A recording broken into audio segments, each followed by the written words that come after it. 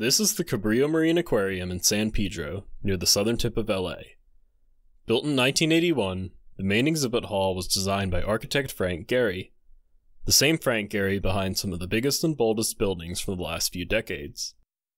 His most well known work stretches metal and glass structures into complex, curving shapes meant to represent the movement in urban areas, which is all made possible with aerospace grade design software and advanced construction techniques. In LA, his Walt Disney Concert Hall and Grand Avenue Towers are a couple of familiar examples of his massive body of work. But earlier in his career, which took off in Southern California in the late 70s through the 80s, Gehry's buildings looked quite a bit different. A 1978 upgrade of his own home in Santa Monica used jagged structures of corrugated metal, glass, wood, and chain link fence. This building marked the genesis of Frank Gehry's signature deconstructivist style, which he would bring to the design of the Cabrillo Marine Aquarium a few years later. Like his house, the aquarium employs traditional building materials like plywood, stucco, and chain link fence. The overall design of the building is supposed to resemble an industrial fishing village, inspired by the canneries and warehouses in the nearby port of LA. Through the entrance, an outdoor courtyard is framed by large structures of fence, which is lightly rusted and provides a framework for the hanging signs, flags, and models of whales, rays, and sharks. These materials that fascinated Gehry in his early career are also on clear view on the inside of the aquarium.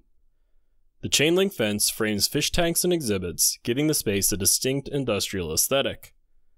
Electrical conduit and plumbing for the tanks are exposed, which displays the building's mechanical functions instead of hiding them. As for the actual exhibits, the Cabrillo Marine Aquarium focuses on ocean life in Southern California and claims to have the largest collection from the region. Also, the aquarium is run by the LA Parks Department, is funded by the Port of LA, and is open to the public with free admission, though donations are encouraged. The aquarium is small, but packs a lot into the space it has. Whereas other aquariums create an immersive experience with large floor to ceiling tanks and dramatic lighting, the Cabrillo Marine Aquarium uses a different, more space conscious approach. A series of zigzagging walls creates two separate realms within the main exhibit hall. On one side, tanks have labels and information explaining their content, but on the other side, tanks face an internal tunnel that is blacked out with minimal lighting. This makes the viewing experience much different and more immersive than the other side, and is only possible since the plumbing is above and beside the tanks rather than behind them.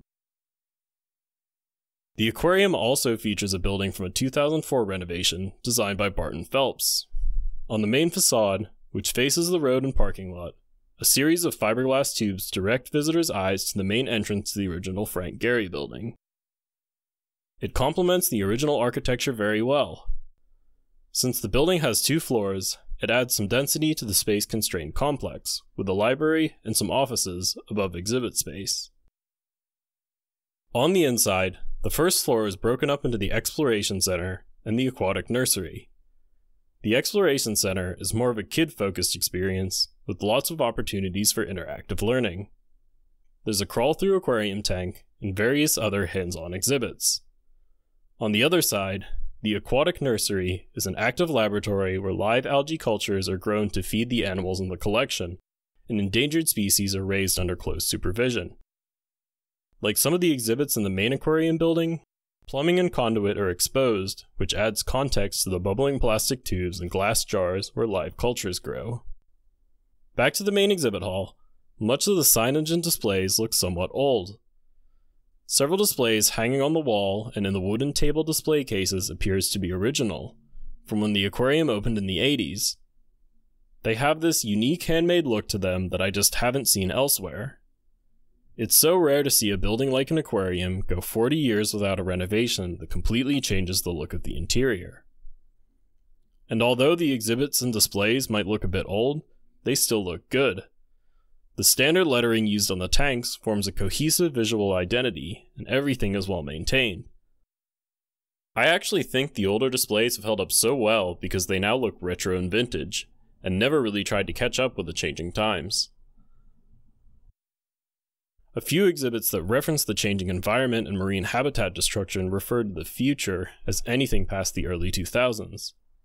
This makes parts of the aquarium truly feel like a time capsule. Still, there are several displays that were added later, like the tide pool tank that replaced a group of tanks that were framed by a chain link fence structure. It looks really good and modern, and the projected tide pool effect works really well.